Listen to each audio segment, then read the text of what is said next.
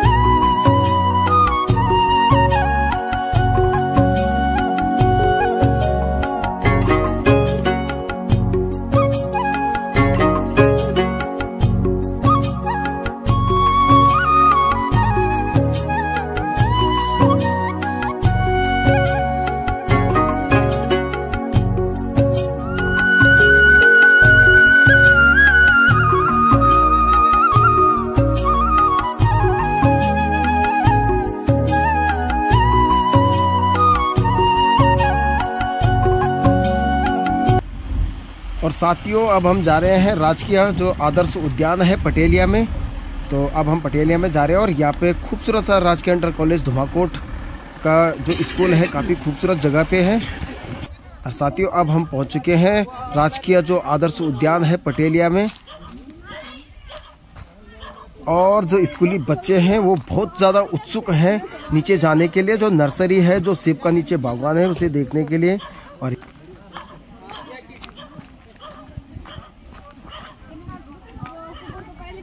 यहाँ से साथियों, नीचे का जो नज़ारा है, कितना खूबसूरत ये नज़ारा है। काफ़ी बड़ा ये सेब का ये बगीचा है।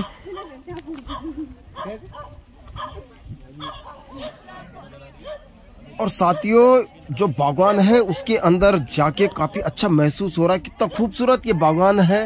ये जो उद्यान है, काफ़ी अच्छा है। और पूरे उद्यान में चारों ओर जो सेब के जो पौधों का रोपण किया गया है। ये कितना प्यारा ये लग रहा है। काफ़ी अच्छा बेहद ही खूबसूरत ये नज़ारा है। इतना खूबसूरत नज़ारा कि यहाँ से जाने का बिल्कुल ही मन नहीं कर रहा है। जो राज के इंटर कॉलेज द्वारी है, वहाँ के जो बच्चे हैं, काफ़ी उत्सुक हैं। जो यहाँ पे सेब का जो बागान है, ये हमारे सर जी है, संदीप सर। और गुरुजी, हमारे वरिष्ठ गुरुजी, पीटीआई सर जी है। और बच्चे काफ़ी उत्सुक हैं। उछल कूद कर रहे हैं। और बच्चे कितना उत्सुक है, जो यहाँ पे आदर्श उद्यान है उसे देखने के लिए। और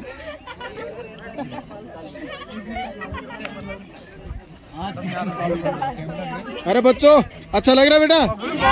मज़ा आ रहा है? बच्चे देखो कितने उत्सुक है, कितने खुश हैं। खुश हो बेटा?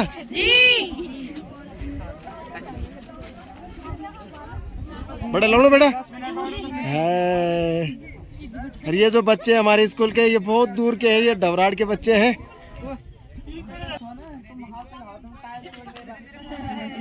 जो हाई डेंसिटी एप्पल ऑर्चर्ड बना हुआ है जी। जो 2018-19 में स्थापित कर दिया गया है। जी जी।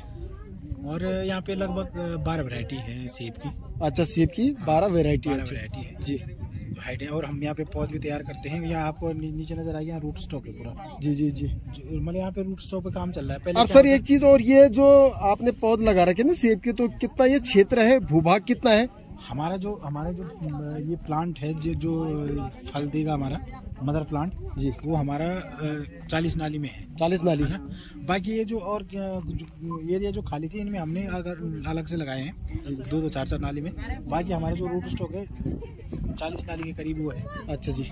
और जहाँ नर्सरी है चालीस नाली के मतलब यहाँ टोटल जो ज़मीन है दो सोनाली है। दो सोनाली। अच्छा तो हमने पूरा मतलब कवर कर रखा है कहीं जगह छोड़ी नहीं है वैसे। और सर जो यहाँ पे आपने पौध लगा रखे ना तो इनके लिए पानी की व्यवस्था हो जाती है? पानी की व्यवस्था हमने ड्रिप इरिगेशन के माध्यम से कर रखी है। अच्छा जी। और टैंक बना रखे हैं बाकी पानी कम है यहाँ पे। हाँ, यहाँ लग तो रहा है कि पूरे जहाँ तक सेब का जो बागवान है वहाँ तक पौध लगी हुई है पाइप गई हुई है वहाँ तक। ड्रिप इरिगेशन का। अच्छा जी अच्छा जी।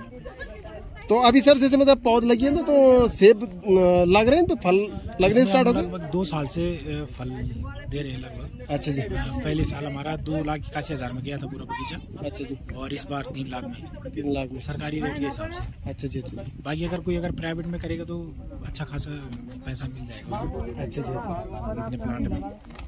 चलो सर बहुत बहुत धन्यवाद आपका। आपने इन्फॉर्मेशन दी के बारे में। और आज सर ज़रिए स्कूली बच्चे आ रखे हैं जरा इनको भी थोड़ा पाँच दस मिनट का अगर स्पीच आप दे सकते हो इस बारे में थोड़ा इन्फॉर्मेशन सेब के बागवान के बारे में क्योंकि हमारा जो क्षेत्र है वहाँ भी जो ये सेब का जो फल होता है ना इसके इसके लिए उपयुक्त तो मौसम है जो हमारा क्षेत्र है उसमें। तो अगर अगर बच्चे भी अपने घर पे एक दो अगर पौध लगा लेंगे तो उसके बारे में जानकारी कि किस तरह से लगाना है कैसी रेख देख करनी है तो पाँच दस मिनट का अगर स्पीच हो जाएगा तो वो भी अ, मैं समझता हूँ कि काफ़ी अच्छा रहेगा। हमें भी जानकारी मिल जाएगी और बच्चों को भी। यहाँ का नाम है राजकीय आदर्श उद्यान पटेलिया। एक ये सरकारी नर्सरी है ये। ये धुमाकोट में है और नए नाना ब्लॉक में है अगर आपको कोई पूछेगा, आप कहाँ गए तो आप बोलोगे राजकीय आदर्श उद्यान पटेलिया। नैनी नाना ब्लॉक में हम घूमने गए थे। और आपने क्या सीखा यहाँ पे? आके आपने क्या देखा? एप्पल का बगीचा, जो कि एक बिल्कुल सघन बागवानी में लगा है, अति सघन बागवानी में। बहुत ही मतलब जो इधर मेरे ख्याल से अभी है नहीं बहुत कम लगे हैं बगीचे। एक आध शायद सिपखाल की तरफ़ भी है। और बाकी उधर तो द्वारी में तो है नहीं वहाँ गर्मी है। तो ये बगीचे अब लगने शुरू हुए हैं। यहाँ पे 2017 अठारह वर्ष 2017 या अठारह उन्नीस से लग रहे हैं। और बहुत ही बढ़िया है सेब का बगीचा। इसमें आपको आपकी बायोलॉजी भी होगी किसी की? बायोलॉजी बायोलॉजी जीव वाले के लिए सबसे विज्ञान पढ़ाता है सबने पढ़ा हाई स्कूल तक नाइन्थ क्लास वाले जीव विज्ञान पे रहता है इनका। वनस्पति विज्ञान जीव विज्ञान। हमने तो बायो देखी भी नहीं है मैं तो आर्ट साइड वाला हूँ लेकिन बायो वालों के लिए बहुत बढ़िया सब्जेक्ट है ये। ये भी एक सब्जेक्ट है ना बागवानी से संबंधित। बागवानी के लिए सबसे पहले जो है कि ज़मीन का देखना पड़ता है पौधशाला प्रबंधन। आपने पढ़ा भी होगा कभी कि पौधशाला प्रबंधन पढ़ाया जाता है स्कूल में भी। खेतों को कैसे तैयार किया जाता है? अगर आप कहीं पे कोई भी बगीचा लगा रहे हो, जैसे द्वारी वाले बच्चे हैं तो द्वारी में आम, लीची होता है। आम, लीची, नींबू ये सारे सिट्रस हो सकते हैं वहाँ पे।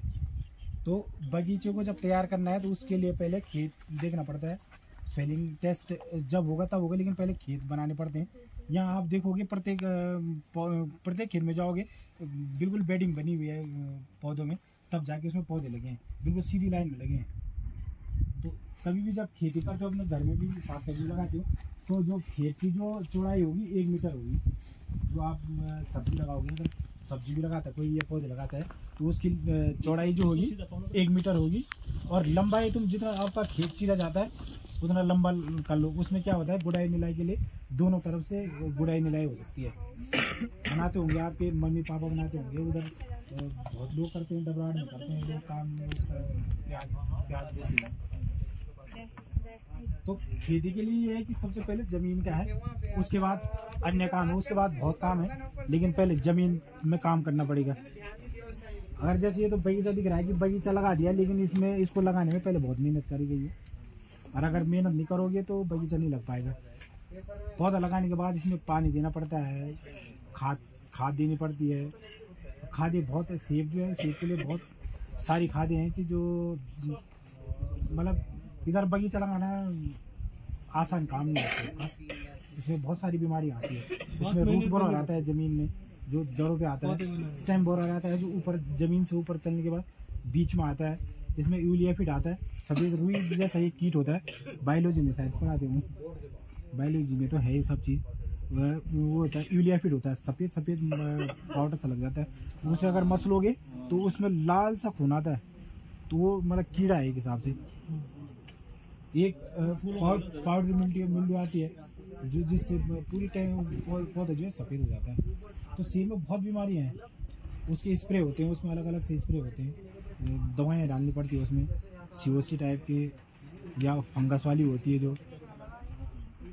तो इसी में मतलब जो है कि काम करने के लिए पूरी ज़मीन से लेकर और पौधे के बीमारी होता है, पूरा नॉलेज होना चाहिए। बाकी जैसे कीवी है, कीवी में कोई बीमारी नहीं है। जैसे वहाँ द्वारी है, द्वारी में जो कीवी लग सकता है। कीवी यहाँ तो इसकी इसके लिए हाइट कम से कम सेब के लिए पाँच हज़ार से ऊपर चाहिए। प्रॉपर अगर आदमी को काम करना है तो पाँच हज़ार छः हज़ार, सात हज़ार, आठ हज़ार। हाइट होनी चाहिए और जैसे कीवी है, वो चार हज़ार में हो जाता है। तो खेती के बारे में मतलब मैं आपको क्या बताऊँ, आप बताओ फिर मैं जो आप सवाल पूछोगे, मैं उस हिसाब से बताऊँगा। आप लोग क्या क्या करते हो घरों में? प्याज लगाते होंगे टमाटर और बड़ा कुछ प्रॉब्लम है तुम्हें खेती से रिलेटेड कुछ है है?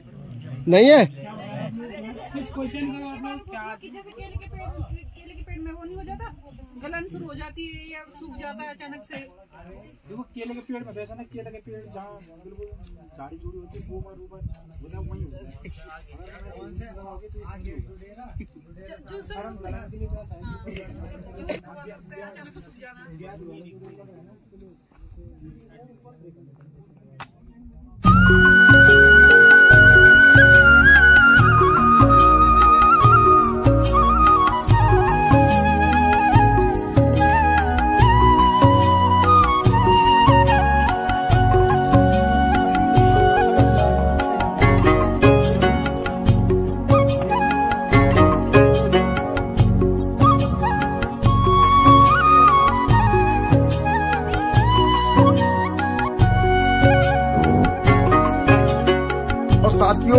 का जो राजकीय उद्यान में जो शैक्षिक भ्रमण था, ये कार्यक्रम अब पूरा हो चुका है।